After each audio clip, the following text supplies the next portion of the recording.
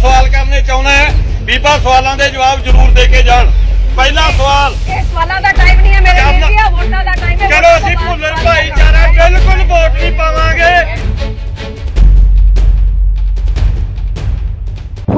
ਲੀਡਰਾਂ ਤੋਂ ਇੱਕ ਸਵਾਲ ਤੱਕ ਨਹੀਂ ਪੁੱਛ ਸਕਦੇ। ਜੇਕਰ ਕਿਸੇ ਨੇ ਸਵਾਲ ਪੁੱਛਣ ਦੀ ਹਮਾਕਤ ਕੀਤੀ, ਤਾਂ ਫਿਰ ਉਸ ਦੀ ਖੈਰ ਨਹੀਂ। ਅਤੇ ਕਿਸੇ ਲੀਡਰ ਕੋਲ ਸਵਾਲਾਂ ਦਾ ਜਵਾਬ ਦੇਣ ਦਾ ਹੀ ਟਾਈਮ ਨਹੀਂ। ਤੇ ਕਹਿੰਦੇ ਨੇ ਕਿ ਇਹ ਸਮਾਂ ਸਿਰਫ ਵੋਟਾਂ ਦਾ ਹੈ। ਨਾ ਕਿ ਸਵਾਲਾਂ, ਜਵਾਬਾਂ ਦਾ। ਪੰਜਾਬ ਦੀ ਰਾਜਨੀਤੀ ਦਾ ਕੀ ਹਾਲ ਹੈ? ਇਹ ਹੁਣ ਸਭ ਦੇ ਸਾਹਮਣੇ ਆ ਗਿਆ ਅਤੇ ਪੰਜਾਬ ਦੀਆਂ ਰਵਾਇਤੀ ਪਾਰਟੀਆਂ ਤੋਂ ਲੋਕ ਕਿੰਨੇ ਦੁਖੀ ਨੇ, ਇਸ ਦਾ ਅੰਦਾਜ਼ਾ ਤੁਸੀਂ ਇਹ ਦੋ ਵੀਡੀਓਜ਼ ਵੇਖ ਕੇ ਆਸਾਨੀ ਨਾਲ ਲਗਾ ਸਕਦੇ ਹੋ। ਕਿ ਲੀਡਰ ਭਾਵੇਂ ਕਿਸੇ ਵੀ ਪਾਰਟੀ ਦਾ ਕਿਉਂ ਨਾ ਹੋਵੇ, ਆਮ ਜਨਤਾ ਦੇ ਸਵਾਲਾਂ ਦਾ ਜਵਾਬ ਤਾਂ ਉਹਨਾਂ ਨੂੰ ਦੇਣਾ ਹੀ ਪਵੇਗਾ। ਪਹਿਲਾਂ ਤੁਸੀਂ ਇਹ ਦੋਨੋਂ ਵੀਡੀਓਜ਼ ਜ਼ਰਾ ਧਿਆਨ ਨਾਲ ਦੇਖੋ।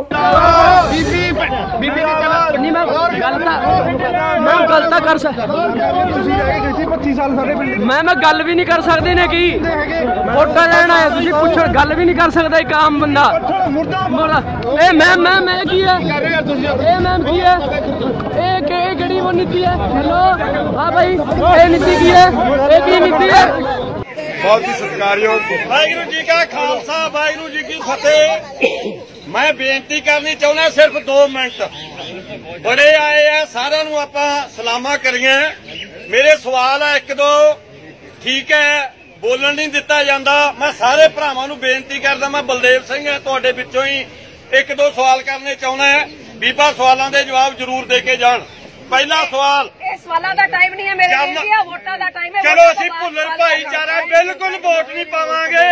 ਸਾਰੇ ਪੰਜਾਬ ਦੇ ਵਿੱਚ ਵਿਰੋਧ ਕਰਾਂਗੇ ਕੋਈ ਵੋਟ ਨਹੀਂ ਲਵਾਂਗੇ ਪਹਿਲੀ ਵੀਡੀਓ ਜੋ ਤੁਸੀਂ ਦੇਖ ਰਹੇ ਹੋ ਉਹ ਪੰਜਾਬ ਦੀ ਸਾਬਕਾ ਮੁੱਖ ਮੰਤਰੀ ਰਜਿੰਦਰ ਕੌਰ ਭੱਠਲ ਦੀ ਹੈ, ਜੋ ਕਿ ਸੰਗਰੂਰ ਦੇ ਵਿੱਚ ਕੇਵਲ ਸਿੰਘ ਢਿੱਲੋਂ ਦੇ ਹੱਕ ਦੇ ਵਿੱਚ ਚੋਣ ਪ੍ਰਚਾਰ ਕਰਨ ਲਈ ਪਹੁੰਚੇ ਹੋਏ ਸਨ ਅਤੇ ਵੋਟਾਂ ਮੰਗ ਰਹੇ ਸਨ। ਉਸੇ ਸਮੇਂ ਇੱਕ ਨੌਜਵਾਨ ਬੀਬੀ ਰਜਿੰਦਰ ਕੌਰ ਭੱਠਲ ਨੂੰ ਸਵਾਲ ਪੁੱਛਣ ਦੀ ਗੁਸਤਾਖੀ ਕਰ ਬੈਠਦਾ ਹੈ। ਬਸ ਫਿਰ ਕਿਸੇ ਬੀਬੀ ਭੱਠਲ ਦਾ ਪਾਰਾ ਹਾਈ ਹੋ ਗਿਆ ਅਤੇ ਭੜਕ ਕੇ ਨੌਜਵਾਨ ਦੇ ਥੱਪੜ ਜੜ ਦਿੱਤਾ। ਹੁਣ ਤੁਸੀਂ ਸੋਚ ਰਹੇ ਹੋਵੋਗੇ ਕਿ ਆਖਰ ਨੌਜਵਾਨ ਨੇ ਇਹ ਪੁੱਛਿਆ ਕੀ ਹੋਵੇਗਾ? ਜੋ ਉਸ ਨੂੰ ਥੱਪੜ ਖਾਣਾ ਪਿਆ। ਉਹ ਅਸੀਂ ਤੁਹਾਨੂੰ ਨੌਜਵਾਨ ਦੇ ਮੂੰਹੋਂ ਹੀ ਸੁਣਾਉਂਦੇ ਹਾਂ ਅਤੇ ਨਾਲ ਹੀ ਵਿਰੋਧੀਆਂ ਵੱਲੋਂ ਸੰਗਰੂਰ ਤੋਂ ਆਮ ਆਦਮੀ ਪਾਰਟੀ ਦੇ ਉਮੀਦਵਾਰ ਨੇ ਭਗਵੰਤ ਮਾਨ ਨੇ ਇਸ ਬਾਰੇ ਕੀ ਕਿਹਾ ਉਹ ਵੀ ਤੁਸੀਂ ਸੁਣ ਲਵੋ। ਮੇਰੇ ਪੜਦਾਦਾ ਜੀ ਸੀਗੇ ਸ੍ਰੀ ਚਾਨਣ ਰਾਮ ਜੀ।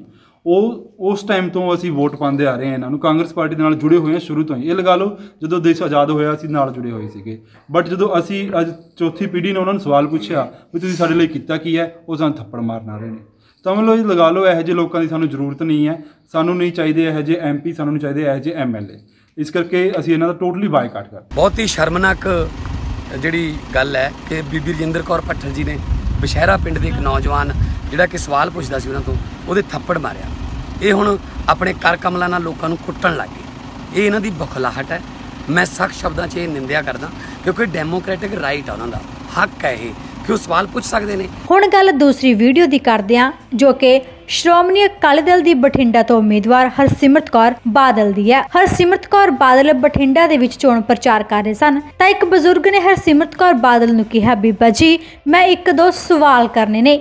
ਤਾਂ ਤੁਸੀਂ ਉਹਨਾਂ ਦਾ ਜਵਾਬ ਦੇ ਕੇ ਜ਼ਰੂਰ ਜਾਣਾ। ਬਸ ਇੰਨੀ ਗੱਲ ਸੁਣਦਿਆਂ ਹੀ ਹਰਸਿਮਰਤ ਕੌਰ ਬਾਦਲ ਨੇ ਕੋਰੀ ਨਾ ਕਰ ਦਿੱਤੀ ਅਤੇ ਕਹਿ ਦਿੱਤਾ ਕਿ ਇਹ ਸਮਾਂ ਵੋਟਾਂ ਦਾ ਹੈ, ਸਵਾਲਾਂ ਜਵਾਬਾਂ ਦਾ ਨਹੀਂ। ਉਹਨਾਂ ਦਾ ਇਹ ਰਵੱਈਆ ਦੇਖ ਕੇ ਬਜ਼ੁਰਗ ਨੇ ਵੀ ਐਲਾਨ ਕਰ ਦਿੱਤਾ ਕਿ ਉਹਨਾਂ ਦੇ ਭਾਈਚਾਰੇ ਵੱਲੋਂ ਅਕਾਲੀਆਂ ਨੂੰ ਵੋਟਾਂ ਨਹੀਂ ਪਾਈਆਂ ਜਾਣਗੀਆਂ। ਤਾਂ ਹਰਸਿਮਰਤ ਬਾਦਲ ਨੇ ਵੀ ਹੱਸ ਕੇ ਆਖ ਦਿੱਤਾ ਨਾ ਪਾਉਣਾ। ਲੋਕਾਂ ਵੱਲੋਂ ਲੀਡਰਾਂ ਦਾ ਅਜਿਹਾ ਰਵੱਈਆ ਹਰਗਿਜ਼ ਬਰਦਾਸ਼ਤ ਨਹੀਂ ਕੀਤਾ ਜਾਵੇਗਾ। ਕਿ ਉਹ ਆਪਣੀ ਕੀਮਤੀ ਵੋਟ ਪਾ ਕੇ ਲੀਡਰਾਂ ਨੂੰ ਜਿਤਾਉਂਦੇ ਨੇ ਵੱਡੀਆਂ ਵੱਡੀਆਂ ਕੁਰਸੀਆਂ ਤੱਕ ਪਹੁੰਚਾਉਂਦੇ ਨੇ। ਪਰ ਲੀਡਰਾਂ ਦੇ ਕੋਲ ਆਮ ਜਨਤਾ ਦੇ ਸਵਾਲਾਂ ਦਾ ਜਵਾਬ ਦੇਣ ਦਾ ਟਾਈਮ ਹੀ ਨਹੀਂ। ਹੁਣ ਦੇਖਣਾ ਬਹੁਤ ਦਿਲਚਸਪ ਰਹੇਗਾ ਕਿ ਆਖਰ ਹੰਕਾਰੀ ਲੀਡਰਾਂ ਨੂੰ ਲੋਕ ਕਿਸ ਤਰੀਕੇ ਨਾਲ ਜਵਾਬ ਦੇਣਗੇ।